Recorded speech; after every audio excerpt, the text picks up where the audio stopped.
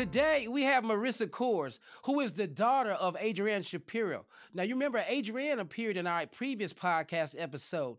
Marissa will walk us through some of the hurdles and her ultimate success on her sickle cell disease care journey. Living Your Life, please help me welcome Miss Marissa Cors. Welcome to Living Your Life, Marissa. Thank you so much for being here. How are you doing? I'm well, thank you. How are you? I'm doing great. You know what? We cannot do living your life without my friend, my my partner, man, my my ride or die, this dude that's with me in this whole sickle cell fight, Dr. Corey Hebert. What's happening, man? It's it's been a good day so far, and you know you might catch this. It's been a good day. I didn't even have to use my AK. You may catch that reference. I, I may have caught that reference. I have, I have. I know what that is, man. But we are here with Marissa Cors today, Dr. Hebert. And let me tell you, this is one person I think is a great inspiration for people with sickle cell disease because she has a very interesting story. And we're going to have a conversation today that is going to get kind of heavy here today. I mean, really, because, um, you know, Marissa, let's just get into it. What was your sickle cell like as, as a child? What was your childhood like?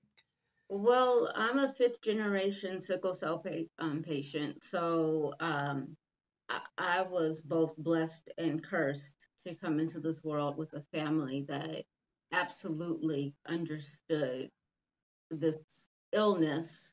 And as such, um, from the moment I could speak, I, I was being taught to advocate for myself and to tell people what I needed and not necessarily ask. Yeah. Yeah. That that's important. And how old were you when you were doing this? Two. My my uh, first lesson. Two. I'm sorry. Did you say like one, two? One, two. That's that's two. strong. That's strong because usually people are asking for their noonie or their yeah. bottle, and you're asking yeah. for uh, uh, tertiary uh, care uh, in in a tertiary care facility for your sickle cell. I, I love it. I love it. I love it. That's strong because I'm telling you, you know what I'm doing that too. Nothing. I, I, wasn't this smart. Nothing. And, and when you say you were advocating, how does a two year old advocate for themselves? Well, the first thing my mother ever taught me was to say no, like this. And ultimately, it was if I was having a crisis, in a space that the nurses wanted to put an IV in, I was to cover that space with my hand and tell them no. And so when I did that, the nurses immediately were like, okay, what's wrong with her? Uh, and they kept trying to get me to move my hand. And, you know, they tried all the tricks. Oh, you know, we're not going to hurt you. We're here to help you it's a magic needle. Like needles cannot be magic. Don't do that. And um so let me get this right, Marissa. You never you never fell for look at the lollipop. No, no. you, you didn't fall for that. I, I, can tell you why though. Um, okay. You know how when children go to the the pediatrician and they put you on your parents' lap, like to give you your shots or to take blood? yes. blood? Yeah. Well, they put me on my father's lap to take blood. And the nurse kept saying, Look at daddy. And daddy was like, Look at daddy. So I'm looking at daddy. The nurse pricks my finger. My father passes out because he passes out at the sight of blood. And so your father said, Your finger get pricked. So your father, ha, ha, ha. that's it. Like, like no, she stabbed me and he passed out. No, I'm not looking yeah. at you no more. Yeah, we're yeah. That's called PTSD. Yeah. We're gonna discuss that with the a uh, little bit.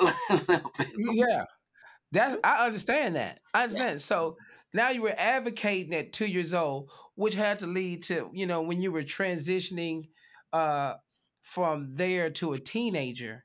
Now you can advocate strongly on your own. Yes and no. Yeah, yes and no, because at two you know, you're a cute kid and you're sick. So people automatically just want to take care of you. It doesn't matter what you have, what you look like, you're a sick kid. We want to make you better. And so at two, when I was saying no, the nurses had a lot of um, patience and a lot of, you know, kind of what's going on here. But they they weren't they weren't threatening to kick me out of the hospital for being uncooperative, right?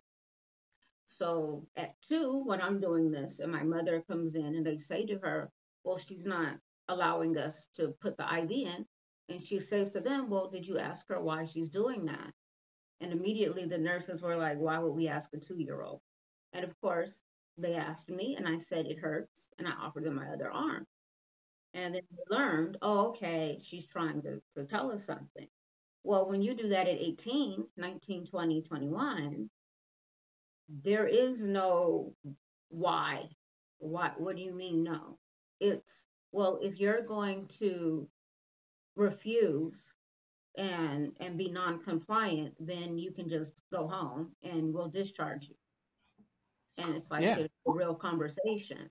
Well, you know mm-hmm. that, that that's so poignant because when I I have to educate um, in, in a classroom setting, uh, my my colleagues, nurses, doctors, nurse practitioners, PAs, whomever, um, about uh, their initial uh, interaction with the sickle cell patient in a pain crisis. And so I always tell them when you're, you know, a, a two year old, three year old girl with a pink dress on and you just kind of whimpering in pain, you know, because of your sickle cell, everybody cares. Oh, we don't want her to be in pain.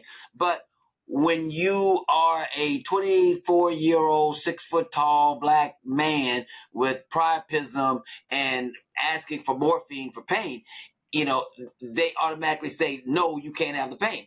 Not, you can't have the pain medicine. And so what we have to do is have to de deprogram them so that they can understand that that kid is the same person as that adult. The pain has only gotten worse over time. So they need to, right before they, when they grab that chart and it says mm-hmm. cell patient, they need to take out of their mind what they're going to see because it doesn't matter what they're going to see because they're going to treat the patient the same. And that's one of the hardest things that i've had to overcome in trying to train people how to tra- take care of patients with sickle cell. Yeah because that's that's a that's a uh, unfortunately that's a reality for us sickle cell patients. Yeah. uh, finding a consistent doctor because you know, you go into an emergency room, that emergency room doctor, and it might not be the same as the last time you were in the hospital with the last emergency room doctor. And that's why you feel like, well, I came back here because I like the way I was treated. And mm-hmm. and now it's not the same. And so, you know, you start looking at some of these stuff like, you know, I have to ask you, Marissa, after going through two years old, no, then to uh, being told we ain't asking you why, this is what this is to to to how is it your sickle cell now and and what are you experiencing now? Or how are you handling the, the situations at your age right now? Well you know to be perfectly honest um i've been at the same hospital since i was 10 11 years old and i'm now 46 as of may so I bet, I bet they see you coming now. Oh, I bet when they look when they get that first little inkling you coming, I bet they they take care of some business. Am I right?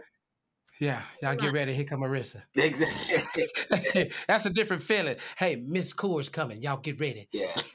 Look, I, I, understand. I bet, I bet, even though your names are spelled different, I bet that they they they treat you better than Michael Kors. Yeah, come on. Got to be better. But yes, but it, it was a very long road to sure. that.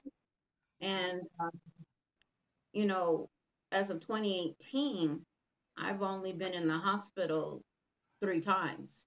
So I went from being in the hospital four to six months out of the year throughout the majority of my 30s to only mm-hmm. being in the hospital three times really in my 40s. So when I left so, the hospital, I knew everybody. Yeah. So let me ask you that. How how did you do that? How do you how what are you doing that some other people are not doing? That you've been in the hospital only three times in the last five years. Well, the first thing I did was I got rid of the portacath. Um. Oh. I got rid of I I was emotionally, mentally manipulated by my nurses to put in portacaths because it made their life easier. Yes. Um, and unfortunately, my body was like not hearing a portacath or a PICC line or a midline or any other kind of line. So for four years straight, I had multiple infections. And when I say multiple, I mean I had two infections that I'm the only person in the world ever to have had. Wow. Like well, can, multiple papers. Can, can, can, I can I hold you up one second? Just for the people that may not know what that is, okay, a portacath is a catheter that is indwelling that stays in you all the time underneath yeah. the skin, so that when they need to access you to either take blood, give you medicine, blah blah blah, they can just numb it up and then stick you right into into the catheter that's underneath, usually kind of in your shoulder.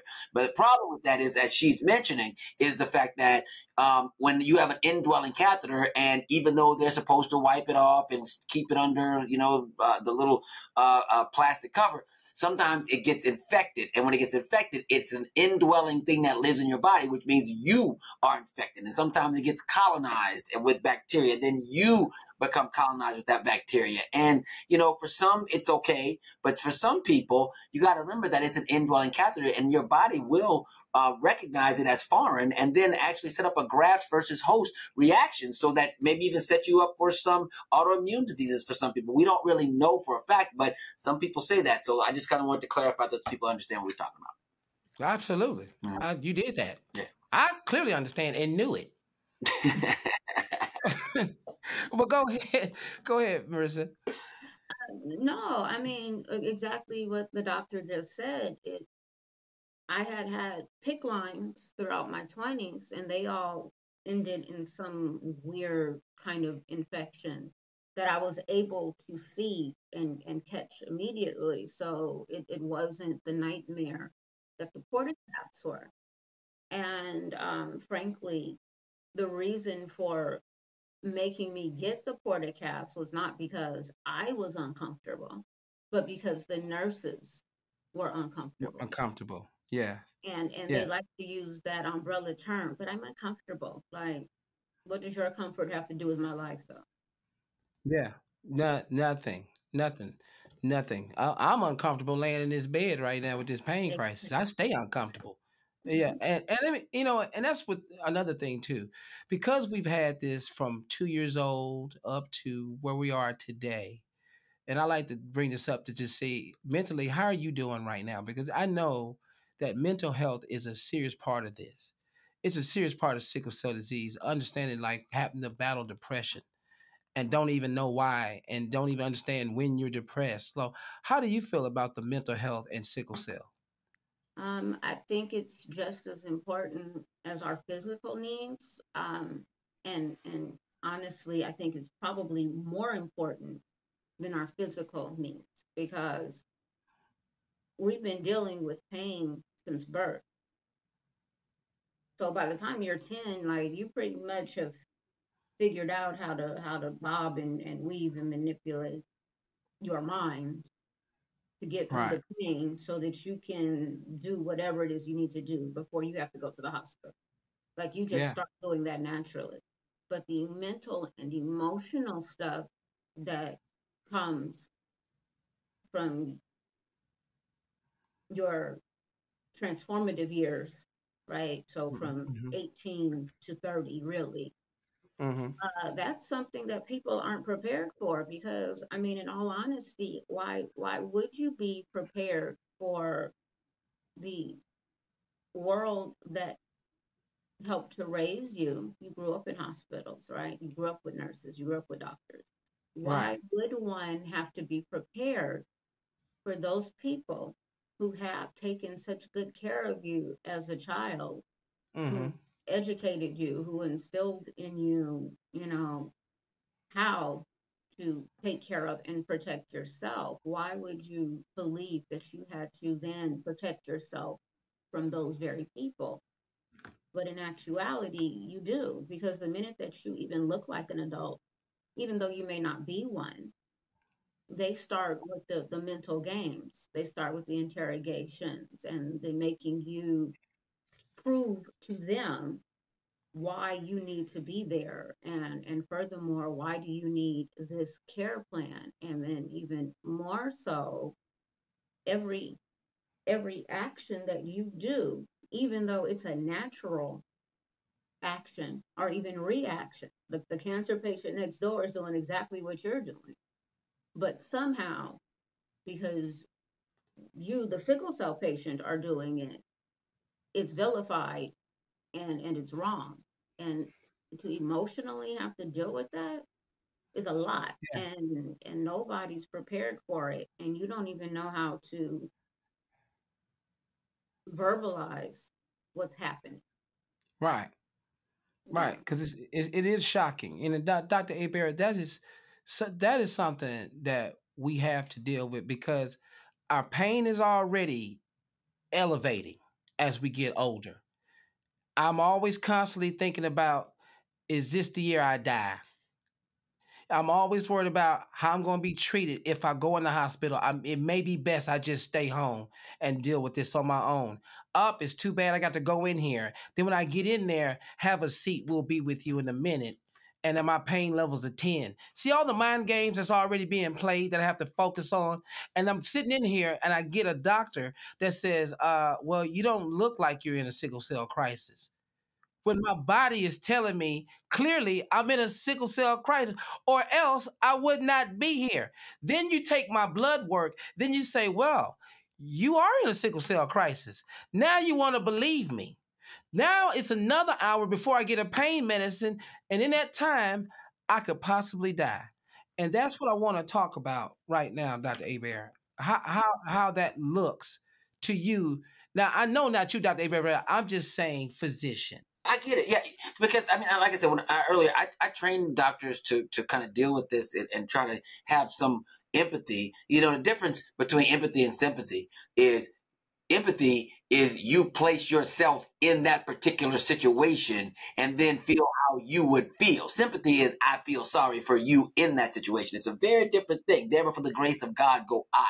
That is empathy, right? So um, you know, we know that the crises get get more intense as you get older, right? We know that you've already had a a a um, what is it, expiration date put on your body from when you were much old, much younger, when they said you probably won't live to be past blank. So every time you go in the hospital, and this is not just for sickle cell patients, please stay out of the hospital if you can.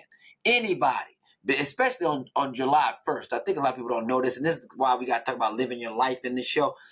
When you, you were a medical student on June 30th. You're a doctor taking care of people alone July 1st. You were an intern June 30th, and now you're a resident in charge of all the interns July 1st.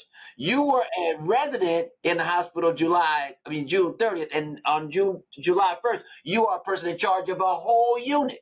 So the the one day you don't want to be in a hospital is what? July 1st. Okay, okay, because that's when everything changed. That's across the whole United States. It's not. So I would say if you could avoid the hospital for any reason in the first month, uh, uh in the first 30 days of July, or the first, you know, first uh, uh, 30 days, you know, after June 30th, July, August, I'd probably stay out of hospitals. But people like the sickle cell can't stay out of the hospital, okay? Because when you go, you have to go. That whole mind game, all you're discussing right now, it's it, it's something that weighs on you and we know that if you have a lot of stress it increases your cortisol level. If you have increased cortisol level that means it decreases your immunity. If you decrease your immunity that means you get strep infection and end up in the hospital. So we got to start talking about how to decrease the stress and increase the mental awareness and increase the mental strength of patients with sickle cell and the only way you can do that is to fix the system. Marissa we look forward to you coming back and tell us about the brittany hightower uh, project that you all are doing. And uh, we thank you so much for spending some time with us. Great discussion. I love it. Thank you so much. Round of applause, ladies and gentlemen, for Miss, Miss Marissa Cors. Miss Marissa Cors, ladies and gentlemen, great job. Thank you so much for coming on Living Your Life, man. Another great episode. Thank you, Marissa.